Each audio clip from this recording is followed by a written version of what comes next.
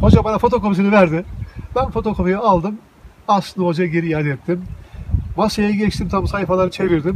%35-40'ı böyle e, silmiş kazınmıştı. E, yani sağlam olan yerleri okumaya başladım. Bir sayfaya geldiğimde parmağa bastım ve orada kaymakam vicdanının sesini dinlemiş ve isyan ediyordu Ermeni kaymakam. Yani buranın Ermeni kaymakamı.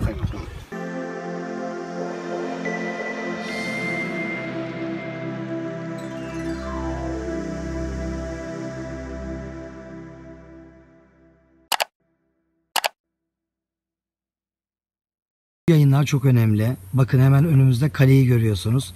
Burası yeni adıyla Saimbeyli, eski adıyla Haçin. Adana'ya bağlı Haçin Kalesi. Tabi burası çok yüksek bir tepe, resmen bir uçurumun başı. Ermenilerin bu kalede yüzlerce Müslümana uygulamış olduğu soykırımları birebir canlı şahitlerin ağzından sizler de dinleyeceksiniz. Şöyle aşağı doğru iniyorum. Uçurumdan aşağı doğru.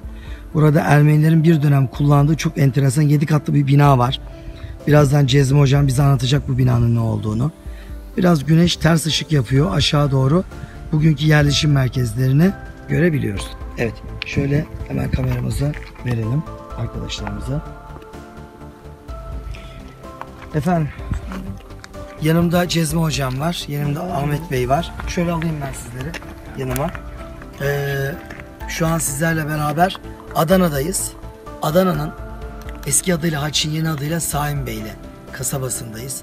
Burası az önceki yayında da ifade ettiğimiz üzere bir dönem Çukurova'nın en büyük yerleşim merkezlerinden bir tanesiydi. Öncelikle e, Ahmet Bey, şimdi kale bölgesinde bulunuyoruz. Evet. Az önce biz sizinle tam karşı taraftaydık. Tam karşıdayım. Orada önümüzde manastır kalıntısı vardı. Oradan kaleye doğru baktık. Evet. Oradan aşağı indik. Karşı tarafa geçtik. Şimdi kale arkamızda ve buradan şehre doğru bakıyoruz. Yani e, fotoğraflarda da izah ettiğiniz üzere o gün tarihi yerleşim merkezi kaleden Genellikle yukarıya kadar burası. uzanan bölge miydi? Evet. Burası. Bu bu bölge.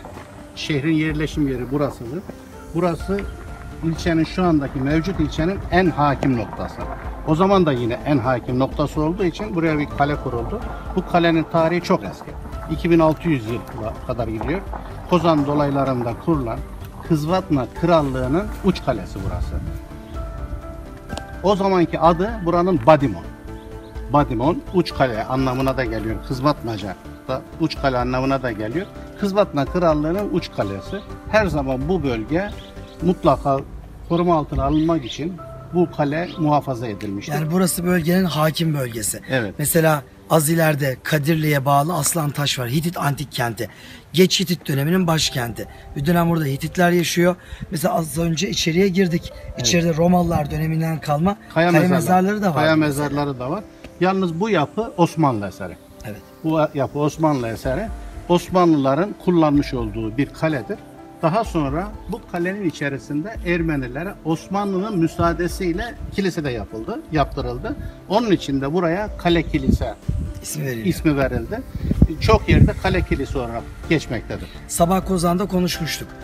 Burası normalde 1100'lerden itibaren bir Ermeni krallığının hüküm sürdüğü bir bölge. Kozan, başkentleri Sis ve ona bağlı olarak Haçin yani Saim Beyli.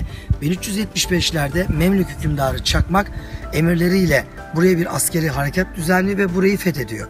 1375'lerden itibaren önce Memlük'te ondan sonra da Osmanlı'nın egemenliğinde bu e, coğrafyanın Müslümanlar tarafından yönetimi 7 asırdan fazla bir şekilde sürüyor.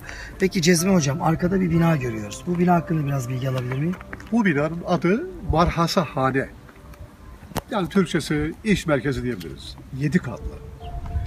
İçerisinde şirketlerin şubeleri var, okul var, kiliseye bağlı olan birimler var. En çatı katı da yani yine kiliseye bağlı haç şeklinde bir kule gibi yer. Yedi katlı. 1909'daki Adana'daki Türk-Ermeni Savaşı'ndan sonra burada Ermeniler herhangi bir kayıpları olmamasına rağmen onların başvurusu üzerine Adana Valisi Cemal Paşa'nın verdiği Bizim parayla bildiğimiz Cemal Paşa. Tabii evet.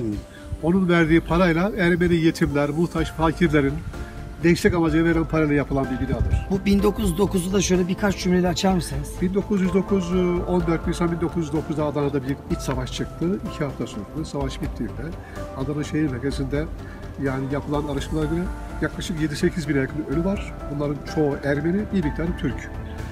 Bu savaşın e, yayıldığı yerler var. Örneğin Erzin var, Osmaniye var, Bahçe var. E, Savaşı çıkaran kişi bir Ermeni papaz Muşek.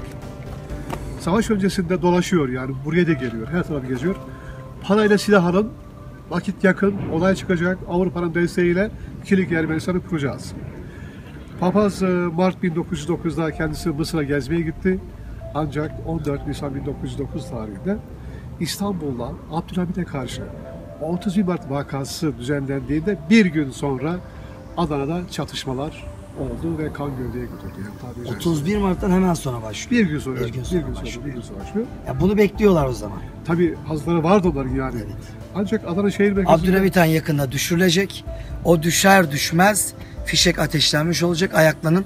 Abdülhamit Han'a biliyorsunuz Ermeniler de birkaç defa suikast düzenlemişler. e, iki hafta sürdü. Adana'da Ermeniler amaçlarına varamadılar çünkü Avrupalılar müdahale edemedi doğrudan. Karisal'dan ve diğer yerden gelen e, bizim askerlerimiz kentte o isyanı bastırdı. Burada Yüzbaşı Teber Efendi ve çok sayıda Türk askeri hemen ilerideki o Obruk yolu üzerinde e, pusuya düşürüp öldürdüler. Yani bir de işin acı gerçeği var. O 30, 35 kişi o anda öldürüldü. 17 Nisan 1909'da 35 Türk burada katledildi. O güne kadar yani burada hiçbir tane Ermeni ölmemiştir. Yani bak düşünebiliyorsunuz değil mi? Yani 1840'lardan itibaren ülkemizde açılan yabancı okullar özellikle Ermeni nüfusun yoğunlukta olduğu yere kurulup onların çocukları yetiştiriliyor. Onların çocukları Osmanlı aleyhinde yetiştiriliyor ve hazırlık yapılıyor. Yakında kısa bir süre sonra devlet kuracaksınız. Abdülhamit Han gibi dik duran bir adamın devrilmesi işaret fişeği oluyor. Önce bir ayaklanıyorlar 9'da bastırılıyor. Sonra tabii ki Birinci Dünya Savaşı yenilgisiyle bu kez ikinci kez. Şimdi oraya doğru geleceğiz. Ee, şimdi 1909'da bu binanın yapımına başladı ama bu binanın mimarı Amerika'dan geliyor. Yani Amerika'da eğitim yapmış bir Ermeni. Geliyor, planlarını çiziyor, para da hazır. Bu bina yapılıyor. 1909 sonrası yani diğer 1910 ve 11'de bu bina resmen vardır. 1915'te Bitimi 1910.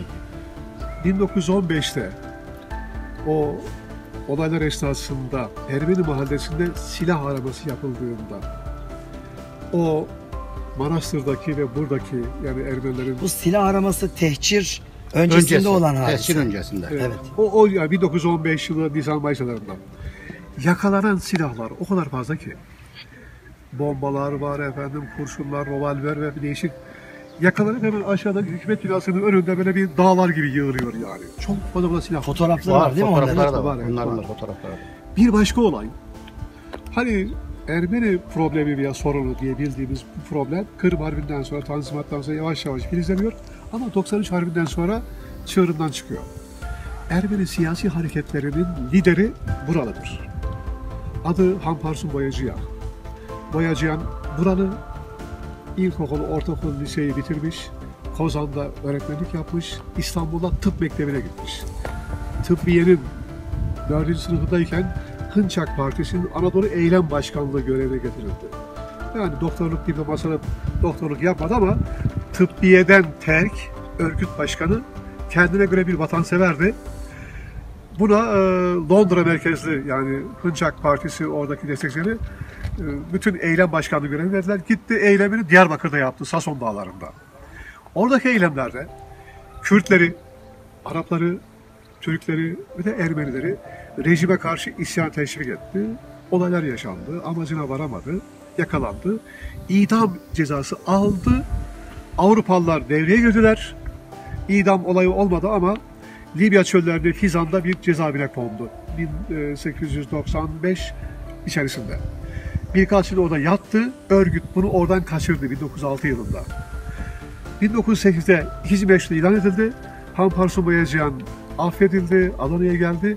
Adana milletvekili oldu buranın desteğiyle. Aman yarabbi. 1909'da. Adana- Abdülhamit Han'a devirenlerin Evet. tek tek vazifeye getirildiği Evet. bir dönemdir o. Maalesef. Tek tek başa. Son hocam. Ee, Hamparsun Boyacıyan Osmanlı Parlamentosu'nda 4 yıl e, görev yaptı. Yani kravatlı, feysli böyle beyefendi görmüş ama bu örgütün İstanbul'da ve Anadolu'nun her tarafında güçlenmesini el altından idare eden kişiydi bu. 1915-24 Nisan sonrasında Enver Paşa ve arkadaşlarının dikkati onun üzerineydi. Ani bir müdahaleyle yakalandı, Kayseri'ye götürüldü. Cezaevindeyken Kayseri'de Develi tarafında yollar kesiliyor ve olaylar var. İncelendi, yargılandı ve idam edildi. Yani Ermeni hareketlerinin, komitacıların, Hınçak Partisi'nin lideri buralı. Amparsu Boyacıyan. Onun idamı 1915 tarihi. Bakın aradan e, çok uzun bir zaman geçti.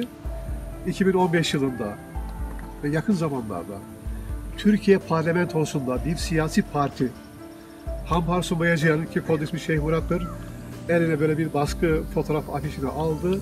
TBMM kürsüsünden Hamparsu Boyacı'na özgürlük verilmelidir diye orada konuşmalar yaptı. İade itibar verilmeli diye. Evet kim kimi savunuyorsa ne amaçla savunuyorsa kendi aslında saklı niyetini o kadar güzel ortaya koyuyor ki. Efendim şimdi kaleye gireceğiz. Kalenin içi tam bir hicran yuvası. Az önce girdik. Ahmet Bey öyle şeyler anlattı ki işlerimiz parçalandı. Yüreklerimiz dağlandı. Şimdi burada bir siyasi süreci konuştuk. 1909'da meydana gelen bir hareket. Abdülhamit Han'ın devrilmesinin ertesi günü. Hemen arkasından tabii Müslümanların buradaki ayaklanmaları. Ermenilerin bastırılması. Fakat bu dinmiyor. Ardı arkasına devam ediyor. Kurtuluş Savaşı öncesinde Fransız işgaline neler yaptılar? Bu kaleyi hangi amaçla kullandılar? Bu kaledeki mezalimleri. Sonra bizim eee, askeri birliklerimizin burayı kurtarışı. Bütün bunları gelin kalenin içinde konuşalım. Hocam buyurun.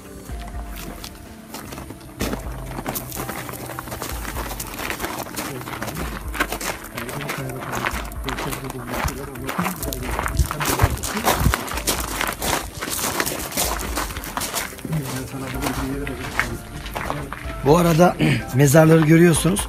Bunlar çok erken dönemden kalma Roma yani Hristiyan Roma dönemi mezarları, kaya mezarları.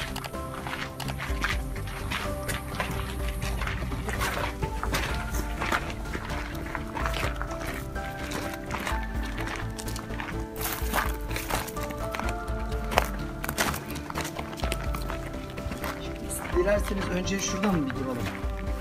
Orada biraz daha uza geçelim. Evet oraya geçelim sonra da burayı da bir konuşalım. Önce bu siyasi süreci bir bitirelim.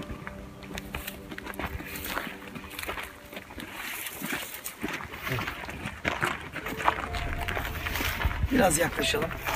Şimdi eee, Ermeni olayları aslında 1840'lardan itibaren kaşına kaşına işte 1909'a geldik, 10'a geldik derken eee Birinci Dünya Savaşı'nın sonuna geldik. Osmanlı Devleti Birinci Dünya Savaşı'nda Mondros Mütarekesi'ni imzalamak zorunda kaldı. Mondros Mütarekesi'ndeki bazı maddeler uyarınca stratejik buldukları, arzu ettikleri bir takım yerleri işgal hakları vardı ihtilaf devletlerinin ve bu amaçla Fransızlar Çukurova bölgesine asker çıkardılar. Sonra ne oldu? Ee, şöyle söyleyeyim 1919 Biraz yüksek sesli hocam. Herkes duyabilsin. Fransız işgal bölgesi e, kapsamına alındı Haçin. Buraya Doğu Anadolu'daki 1915-16 yıllarında yüz binlerce Müslümanı öldüren, öldürme emrini veren Antranik e, emrindeki Ermeni Kamavor diye bildiğimiz komitacı grupları buraya geldiler. Onların başkanı Cebeci yandı. Tabur ve piyade şeklinde burada yani 3000 küsür 4000'e yakın Ermeni silahlı gruplar var. E, Şunu sormak istiyorum. Merak edildiğini düşünüyorum. Tehcir diye bir şey biliyoruz. Evet. Evet. Bu Ermenilerin sürülmesi, gönderilmesi. Fakat buradan anladığım kadarıyla Ermenilerin hepsi tehcir edilmedi mi? Yok. Yok. Protestanlar gitmedi, Katolik Ermeniler gitmedi. Bir de çok bu muhtaşama gitmedi. Bak Gregoriler gitti yani. Gregoryanlar gönderiliyor. Yani bu nüfusu ne kadar tekabül ediyor? Sanırım yüzde 80-90 gitmiş olabilir. Evet. Bir şey öyle gösteriyor. Peki sonra bunlar Fransızlarla beraber geri mi geldiler? Tabii geri geldiler. 1918 Aralık ayında gelmeye başladılar ama 1919'un başlarında hepsi buraya gelmişler. Yani. 1919'daki işgal ortamında buranın kaymakamı bir Ermeni asıllı kişi, kendisi hukukçu, avukat, Mehmet Çalıyan. 1988 yılında Adana'da benim kapıma bir öğretmen çaldı. Mustafa Onar. Hocamız dedi ki bana, Cezmi Bey, Haçin'de Ermeni Kaymakam Karabet Çaldıyan'ın yazdığı not defterini bende bir örneği var Osmanlıca. Onu sana bir göstereyim bir bak. Hoca bana fotokopisini verdi. Ben fotokopiyi aldım. Aslı Hoca geri iade ettim. Masaya geçtim tam sayfaları çevirdim. %35-40'ı böyle e, silmiş kazınmıştı. E, yani sağlam olan yerleri okumaya başladım. Bir sayfaya geldiğimde parmağı bastım ve orada kaymakam vicdanının sesi dinlemiş ve isyan ediyordu Ermeni kaymakam. Yani buranın Ermeni kaymakamı. Kaymakam diyor ki savaş başladığı ilk günlerde makam odamdayken çağırdım diyor komitacı başkanı Cemil Cihan ve Aram Çavuş'u. Sakın ola ki Müslüman tutsaklara işkence yapmayın, kötü muamele yapmayın. Beraber yaşadık demiş idaremizin altındadır onlar demiş onları koruyun. Ancak diyor beni dinlemediler. Her gün diyor olaylar yaşandı. İş çığırından çıktı. Bunu diyor benim anlatmam mümkün değil. Defterin bir sayfasında diyor ki eğer insanlık adına tarih ve adalet denen bir şey varsa bu canavarların yakası yapışmalı ve buradaki büyük katliamları demiş tüm insanlığın bilmesi lazım. Bunu yazan bir Ermeni kaymakam. Yani Fransa ileri altında. Ben sayfaları çevirdim. Tabii çok korkunç bir olay. Bu hatırat nasıl size ulaştı hocam? İşte bu e, emekli öğretmen O bu, nereden bu gelmiş? 1954 yılında hani bu savaş esnasında binalar yakılıyor, e, yıkılıyor. Evet. toprak altında kalmış. Bir inşaat esnasında kazmalar vurulduğunda bir e, işte inşaat amelesi küt diye bir ses çıkıyor. Bir cerenin içerisinde bulunuyor. Onun yerini ben size göstereyim. Ne dedi? Neyin içinde? Cere, cere, cere. Cere nedir? Küp, Küp. Küpün çömlek, içinde. çömlek. Çömlek. Kaymakam makamındaki kağıtlara tarih numarasını veriyor, sayfasını yazıyor ve o gün ne oldu hepsini yazıyor yani. Resmen bir Günlük, günlük, tutuyor. yani. Günlük tutuyor evet. Kaymakam Kale günlük. ve Çalıyan'ın o not defteri bir itiraftır. Ermeni komutacının ne kadar büyük vahşetler yaptığının açıklamasıdır. Tırmıkla öldürülenler, idam edilenler, tecavüze uğrayanlar neler neler neler ben okudum yani şu an e, konuşmak bile beni üzüyor. Sadece bir olaydan bahsedeyim. E, çatışma esnasında buraya bir e, sehpa kurulmuş, idam sehpası. Buraya kaleye. Kaleye. Evet. Evet. Kaleye kuruldu. bir genç kadın getiriliyor. Ermeniler e, davul zurna çalıyorlar yani trompet çalıyorlar. Diyorlar ki karşıdaki Kuvayi Milliyeciler Ey Şaban Çavuş senin kızın elimizde. O bizim avradımız oldu. Bak şimdi onun başına gelecek göreceksin. O genç kızı çıkartmışlar idam sehpasına orada sallandırıyorlar. Babası da orada kızın. Kızın o halde görünce kafasını ters çevirip tetiğe basıyor ve kızını vuruyorlar. Böyle acımıyorlar. Bu işleri hepsini Aram Çavuş yaptı. Ahmet Hocam'ın da ailesinden 40 aşkın şehit var bu olaylarda. Hocam çok daha iyi bilir Peki. Ahmet hocam şimdi kaledeyiz. Evet. Yani burası bir uçurum. Uçurumu kenarında. Yani bir uçurumun tam kenarındayız. Karşımızda bir e, tepe var. Biz bir taraftayız. Yani şu taşlar konuşsa o mezalim döneminde Ermeniler bu kaleyi ele geçirmişler. Burada 500'ün üzerine Müslümanı her gün kıtır kıtır keserek şehit etmişler. Kimilerini buradan atmışlar. Siz bu olayın şahitlerini tanıyorsunuz. Bir kısmı da akrabalarınız. Buyurun söz sizde. Şimdi yani insan duygulanıyor, anlatırken de duygulanıyor. Yıllar geçse bile biz canlı tanıkları dinlediğimiz için çok etkileniyoruz. Benim babam, annem, dedem bu işin hep canlı tanıkları. Burası İslam mahallesi. Tepenin öbür tarafından Ermeni mahallesini gösterdik. Bu tarafı da tamamen İslam mahallesi. Bu dağların her tarafında evler var yani. Yüzlerce ev var. Benim akrabalarımın şu görünen yıkık bir harabe görüyoruz. Evet, orası, görüyorum. orası hamam. Oranın adı Kızlar Hamamı. Onun etrafında benim hep akrabalarım var. Evler Orada. hep oradaydı. Evleri hep orada. Yerlerini de biliyoruz. Yurtlarını da biliyoruz. Her şeyini de biliyoruz. Ben ona geçmeden önce Cezmi Hocam'ın Çalyan Karabit'in anılarının bulunduğu yeri söylemek istiyorum. Şurada ahşap bir ev var. Bu evin inşaatı yapılırken Hangi ev hocam? şu şu. Şu taş ev mi? Evet taş üstü, ev. Üstü, Üstünde kirişli. yarım çinko Evet. gibi görüyoruz Evet, ya. evet, şu. o taş evin yapılırken inşaatında bulundu Çalyan Karabit'in anıları. Allah Allah. Evet, Topraktan. bir küpün içerisinde bulundu. Buranın ileri gelenlerinden Süleyman Baytok amcamız vardı. Biz onu yetiştik. Onun konuşmalarını hep dinledik. Bulan gençler ona götürüp veriyorlar. Siz bunu okursunuz. Bu nedir? şeklinde. Süleyman Baytok tabi bunu muhafaza ediyor. Burada yine bizim Abdurrahman Örs diye Türkçe öğretmenimiz vardı. O daha sonra kitabını da yazdı. Abdurrahman Örs Osmanlıca biliyordu.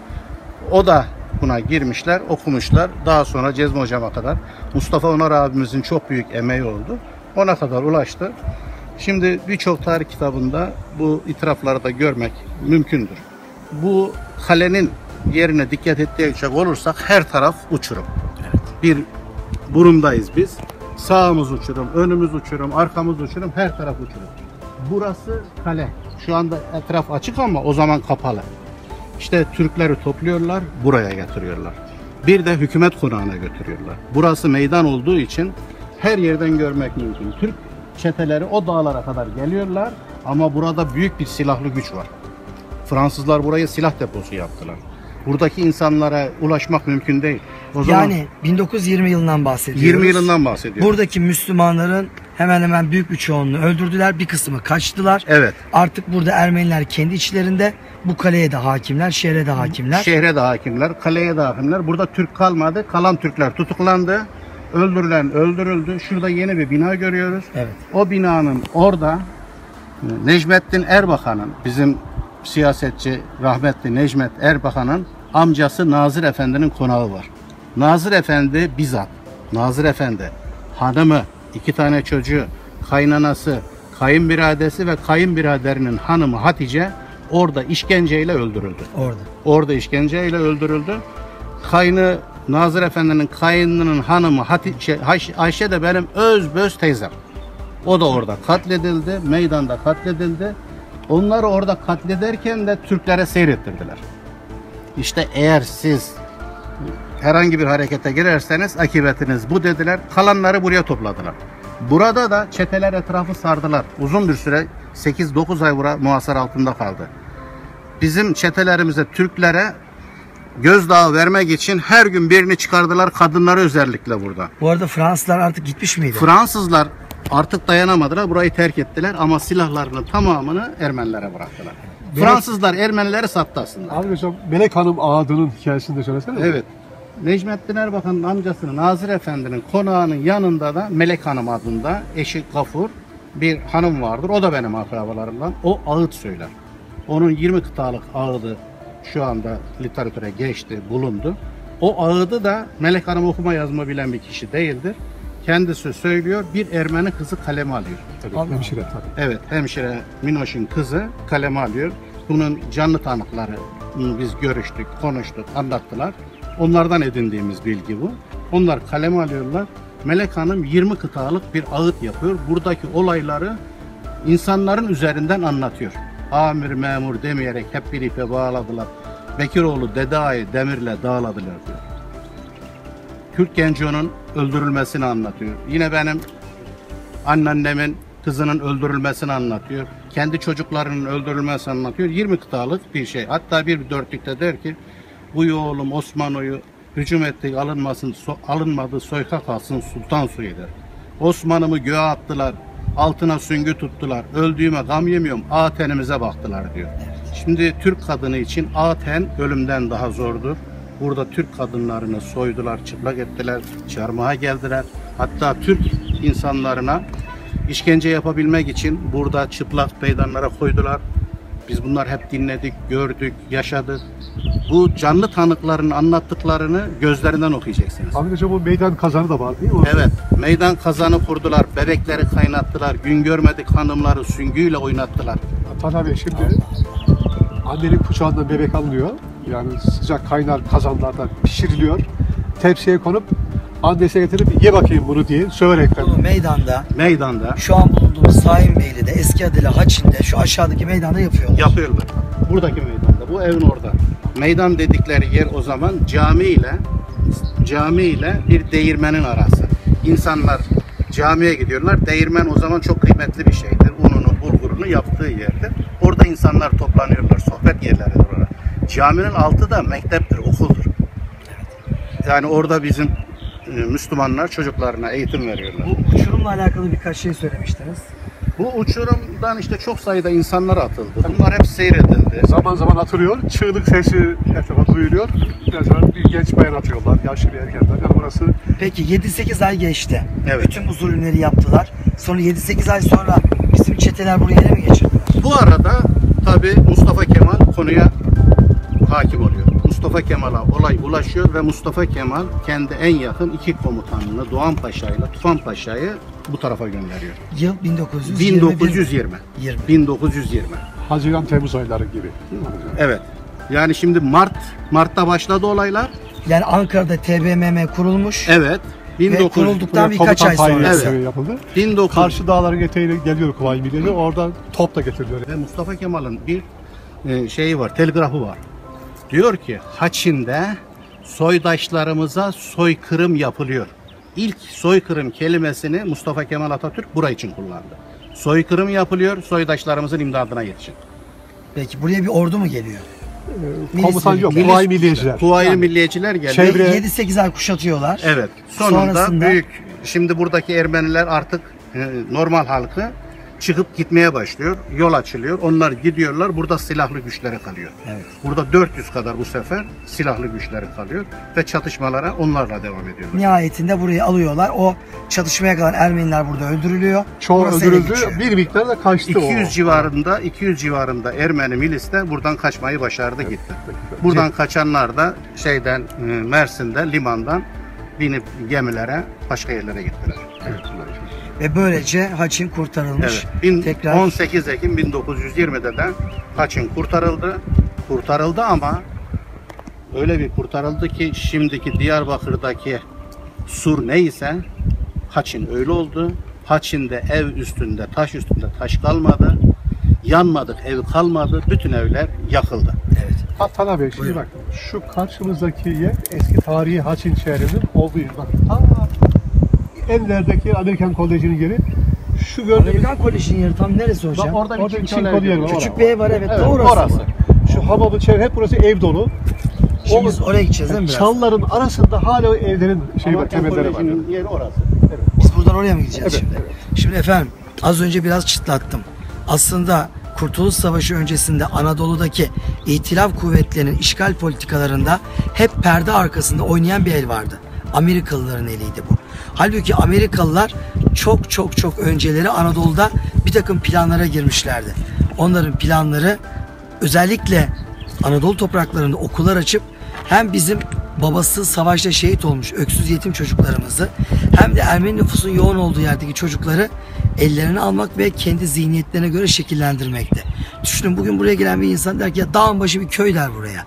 Dağın başı bir köy diyeceğimiz bir dönemin en büyük yerleşim merkezlerinden. 1920'de Adana'da en yüksek iki katlı bina varken az önce gördüğünüz burada yedi katlı binaların olduğu bir yerde Amerikalılar gelip buraya kocaman kocaman okullar açıyorlardı. Peki amaçları neydi? Neden buradaydılar? Burada hangi faaliyetlerde bulundular? Perde arkasında bu gizler neler ortaya koydu? Bunları konuşacağız. Bunları konuşmak için de uzmanlarımızla beraber Amerikan Koleji'nin orada bulunan binasının yakınlarına gideceğiz. Açın Kalesi'nden şimdilik hoşçakalın.